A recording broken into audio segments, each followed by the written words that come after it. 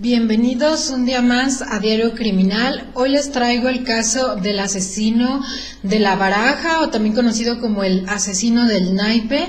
Es un asesino en serie español. Recibe este nombre ya que dejaba una de estas cartas de la baraja cerca de los cuerpos de sus víctimas. Así que si te interesa esta historia, quédate para revisarla.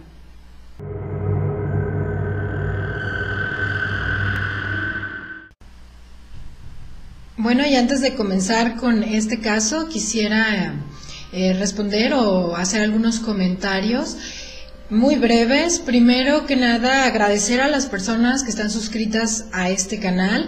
Eh, me encantaría que me comentaran los los temas que les gustaría que viéramos, los casos que les gustaría ver. Es una forma ah, de mi parte de agradecerles el que estén suscritos a este canal Así que coméntenme, me gustaría mucho saber su opinión de lo que les gustaría ver en este canal. Y de mi parte me esforzaré por seguirles trayendo mucho más de este contenido. Corría el año de 2003, un año que la sociedad española recuerda como un año bastante violento. Acababan de pasar por los casos muy mediáticos de las niñas de Alcázar, como también el caso de Anabel Segura, y justo en enero del 2013 comenzaría a escribirse una historia más bastante mediática, como les dije, la del asesino de los naipes. Estamos acostumbrados a oír de este tipo de tiradores, de tiroteos, pues en la sociedad americana sobre todo es más frecuente, casos como el hijo de Sam o Zodiac.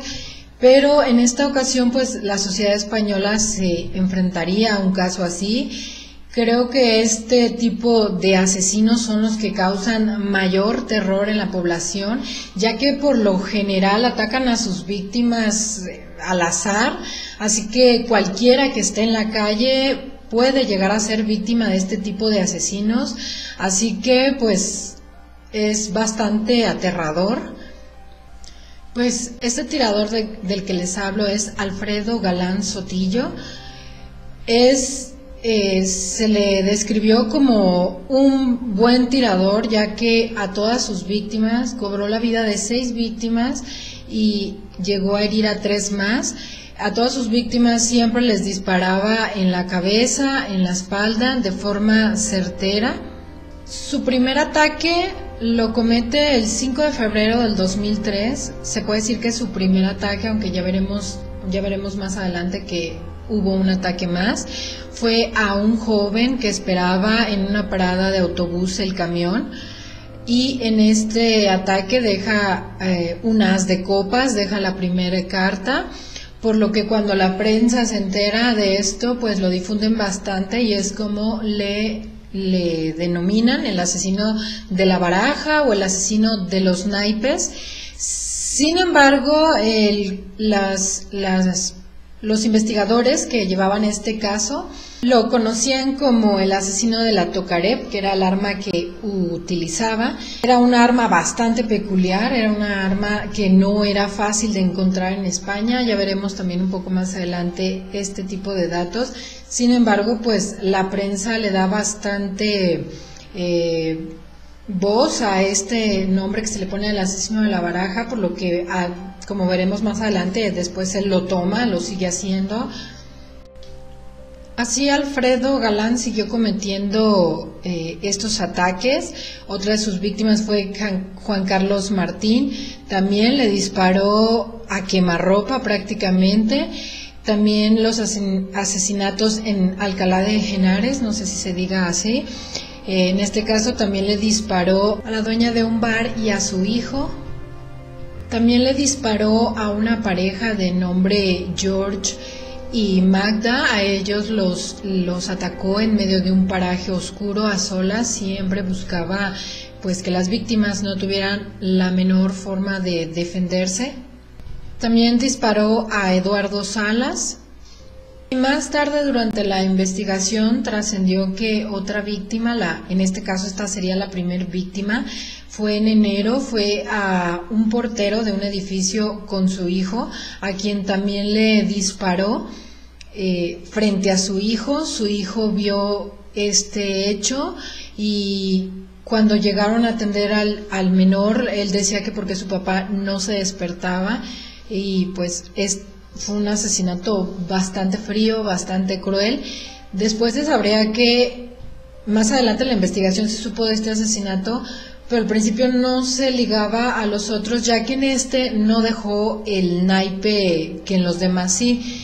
Y es que se comenta que al parecer en el segundo el naipe estaba por ahí, como este, pues estaba ahí, lo vio, lo dejó trascendió este, este asunto del naipe, a él le, le, ponen este nombre, a él le gusta y a partir de ahí empieza a dejar estos naipes. Entonces por eso en este primer hecho no estaba el naipe y no lo habían ligado, sin embargo cuando se descubre que también fue alguien que murió eh, por los disparos de la Tokarev, es así como se dan cuenta que pues también corresponde a las víctimas del asesino de la baraja. Algo muy interesante que me encontré respecto a este caso y que también por eso uh, decidí traerlo al canal, aparte de que hay muy poca información respecto al caso, es que durante el desarrollo de esta investigación el criminólogo Vicente Garrido, es de en España, hizo un mapa mental y un perfil criminal acerca de de este caso, de quién pudiera ser este tirador, eh, por lo que podemos ver eh, qué tan acertada es esta técnica de la perfilación, ya que este, este perfil y mapa mental que realizó Vicente Garrido, ah, lo realizó durante la investigación, como les dije, antes de, de que tuviéramos este, eh, claro qué tipo de persona es. Y eso viene en un libro, yo siempre tengo un libro, de Vicente Garrido que es El rastro del asesino. Viene detallado este caso del asesino de la baraja. Entonces es muy interesante porque así no nos quedamos solo con los medios y podemos comparar ya que pone aquí el perfil que dio en ese entonces antes de saber que, que quién era el culpable y pues podemos como darnos cuenta si acertó o no. Así que les voy a comentar algunos de estos datos. Este mapa mental es lo que también es conocido como el perfil geográfico eh, basado en el círculo de Canter. Eh, es interesante ya que mediante el lugar donde se van dando los hechos se va marcando y se hace un mapa en el que se intenta saber no exactamente en dónde vive el, agresor, pero sí en dónde se mueve, probablemente en dónde vive, en dónde trabaja, en dónde va eh, frecuentemente, ya que en esta teoría se dice que suelen atacar eh, en, un, en un polígono que ellos conocen, un lugar donde saben eh, que hay poca gente a tal hora, que está oscuro, que no hay cámaras, eh, que tienen esta facilidad para cometer el crimen sin que les descubran o les graben o, o se junte muchísima gente. A Vicente Garrido le, le piden este dato, un periódico, él realiza esto no para, para oficialmente, sino para un periódico. Mm, describe este dato de que suele buscar lugares solitarios, víctimas solitarias, víctimas que no se puedan defender, les llega de sorpresa y pues realiza este mapa mental y vamos a ver si le atinó o no. Pues pasemos a la parte que de seguro a todos les interesa más, que es el perfil psicológico. Este perfil lo entrega algunos meses antes de la captura del asesino de la baraja. Menciona que los cinco casos son eh, están ligados y son del asesino de la baraja. No sé si él tenía el dato de lo de la Tokarev. Eh, menciona que no tienen este, ninguna conexión entre sí las víctimas que las elige al azar, que le da igual si son este, hombres o mujeres, españoles o extranjeros. Eh, no, la forma de acechar a las víctimas, como les dije, era en algunas ocasiones esperarlo agazapado por ahí, en otras ocasiones acercarse a ellos. No se disfraza, no se oculta a las víctimas, las enfrenta cara a cara. También lo, lo determina como un hombre entre 25 y 30 años de edad con un trabajo de bajo perfil y que probablemente viva con sus familiares o con sus papás, con alguna persona eh, cercana a él, que la gente que le conoce lo va a describir como raro o extraño. Y finalmente menciona Vicente Garrido que este perfil, pues en sí por sí solo no podría ayudar a determinar quién es eh, exactamente esta persona, sino que este perfil pues entrega a las, a las fuerzas del orden este perfil y son ellos cuando tengan los sospechosos que pueden comparar cuál de estos sospechosos encuadra más en esta herramienta del perfil. Y y pues conforme les vaya cortando los hechos, pues ya podremos darnos cuenta de qué fue lo que sí acertó o no Vicente Garrido en este perfil. A mí en lo personal tengo libros de él, a mí me, me, gusta su trabajo. En, esta, en el transcurso de esta investigación se llegó a atrapar a una persona como sospechoso o casi el culpable. Se hizo un retrato robot en base este, a la descripción que dio una víctima que sobrevivió a este caso. Y pues este retrato robot se difundió y demás. Atrapan a esta víctima prácticamente pues nada más porque se parecía mucho al retrato robot. Sin embargo más tarde en la, investigación pues queda claro que esta persona no es la culpable. Y también se desató todo una eh, pues de cuestionamiento sobre si los retratos robots eh, que se sacan de víctimas que están bajo el estrés, que sobrevivieron, pero están bajo este estrés de lo vivido, son lo ideal para utilizarlas como herramienta de investigación. Alfredo Galán Sotillo se entrega en la comisaría de Puerto Llano llega y se entrega y dice, soy el asesino de la baraja. Le dicen, pues, pruébanos eh, cómo es que eres el asesino de la baraja. Y él les dice que tras, detrás de todo lo, de los naipes que va dejando, los naipes tienen en la parte de atrás un punto eh, como con pluma rotulado y es así que dicen, sí, sí es el asesino del naipe ya que este dato no había salido en la prensa, sí, sí, se, se dio esto, se difundió lo de la Tokarev, lo del naipe y demás, este pequeño detalle no trascendió. También hizo declaraciones como que estaba frente a su televisor y decidió salirse a matar y matar. Menciona que se entregó porque era súper desesperante que no dieran con él, así que pues ya, qué desesperación y mejor me entrego. Y pues más tarde negaría prácticamente todas estas declaraciones en el juicio solamente aceptaría que compró una arma Tokarev, pero después dice que él la vendió, así que no era él. Pues ahora, ahora les daré algunos detalles este, respecto al juicio eh, que son importantes. En la revisión en su domicilio se encontró el casquillo relacionado con la primera escena, como les dije, la, la del portero, no, no, la del joven, se encuentra este casquillo. También encuentran una, una malla que habían este, mencionado algunos sobrevivientes que tenía él en el arma. Se encuentra que la usaba prácticamente como para llevarse los casquillos para que ahí se quedaran. También se encuentra un mazo de cartas y tenía almacenada mucha información, recortes de periódicos, notas respecto al caso del asesino de la baraja de sí mismo. Y pues se menciona que este caso se llevó, eh, perdón, este juicio se llevó en medio de irregularidades, ya que él tomó su derecho a guardar silencio, no habló nada eh, no aceptó ningún crimen, al parecer es un derecho con el que cuentan en España, ya que lo he oído en otros casos, creo que en el de Juan Carlos, el monje Shaolin asesino, también tomó este derecho de no decir absolutamente nada pues en este caso también. Sin embargo, la declaración hecha por él cuando él se inculpó tenía el suficiente peso y estas pruebas, ya que dio este detalle del punto que no había salido a los medios, La sentencia que se le dio fue a 120 años de prisión, sin embargo, según las leyes españolas, solo cumplirá 25 años de prisión, algo que indigna y enoja bastante a las víctimas.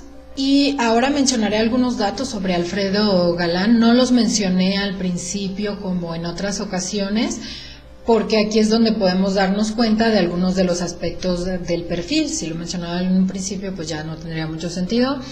Alfredo Galán al momento de cometer los crímenes vivía la mayor parte del tiempo en casa de sus papás, así que sabemos que este dato del perfil sí se cumplió. También eh, el domicilio de los papás entraba dentro de esta zona delimitada por el mapa mental realizado por Vicente Garrido. Alfredo Galán trabajaba como guardia de seguridad en ese momento, también este, podría entrar dentro de lo que mencionó Vicente Garrido. Al momento de su detención, Alfredo Galán tenía 26 años, así que también este dato fue acertado, ya que Vicente Garrido decía que podía tener entre 26, 25 y 30 años de edad. Y otro dato importante o sobresaliente para la investigación sobre Alfredo Galán es que prácticamente la única trabajo o habilidad en la que destacó fue mientras estuvo en el ejército. Perteneció al ejército, por eso tenía esta habilidad, este manejo de armas. Fue mandado a una misión en Bosnia, es ahí donde consigue esta, esta famosa arma que prácticamente fue la que el utilizar esa arma tan peculiar, tan que no estaba en España y en todos los crímenes, porque sí, los cinco crímenes sí los cometió él, pues fue lo que lo acabó eh, hundiendo. Y pues estuvo en España, compró, perdón, estuvo en Bosnia, compró esta arma, regresa, la mete de alguna forma medio contrabando a España y una vez que, termina eh, su actividad en el ejército, pues se queda así como muy triste, como que pues lo que tenía se terminó y comienza con este trabajo de guardia de seguridad. Y pues algunos aspectos psicológicos, estos ya son posteriormente, ya cuando lo tienen, el análisis que le hace el psicólogo que lo revisa. Eh, ahorita les comentaba lo de su salida del ejército, que se termina esta actividad, pero bueno, aquí viene este detalle que es que mientras estaba en Madrid en el ejército se le diagnosticó neurosis, mientras estaba en este ejército se le diagnosticó con neurosis y ansiedad, lo medican, pero él consume alcohol eh, constantemente, mezcla estas medicinas y es por esta razón que le dan la baja del ejército. Este estudio psicológico lo realiza Juan José Carrasco, eh, psiquiatra forense, que también menciona que probablemente todo esto que él vivía, estaba viviendo, estos, esta agresividad, pues era como resultado de un estrés postraumático por el tiempo que estuvo en Bosnia, del pertenecer al ejército, también de ahí la habilidad para el manejo de las armas, también menciona que no sentía miedo ni remordimiento y cuenta una anécdota en la que Alfredo Galán le dice que le gustaba viajar en el metro de Madrid y escuchar a las personas asustadas hablar acerca del asesino de la baraja, que era algo que disfrutaba muchísimo, que pues también como vimos guardaba notas de periódico y, todos los detalles del caso, así que estaba eh, pues según él muy orgulloso de lo que había cometido, ya que pues era como que lo que había logrado, lo del ejército y estos ataques.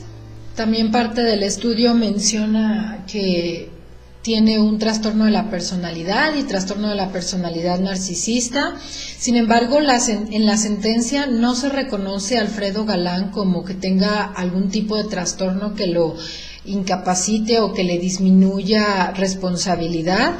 Y según se menciona en el informe, Alfredo Galán es un depredador humano que sale a la casa del hombre para humillarlo y matarlo, un comportamiento que solo se puede ver en la naturaleza. Y pues es todo lo que tengo para el caso de hoy. Eh, es un caso interesante. Déjame en los comentarios qué piensas, si ya habías oído de él. Si te gustan pues estos temas, como te dije, te recomiendo este libro de Vicente Garrido, trae varios casos. A mí me gustan sus libros, son interesantes. Y pues también te dejo mis redes sociales para que me sigas y pues coméntame de lo que hablamos en el principio del video, qué casos te gustaría eh, que hicieras y nos vemos en un próximo video de Diario Criminal.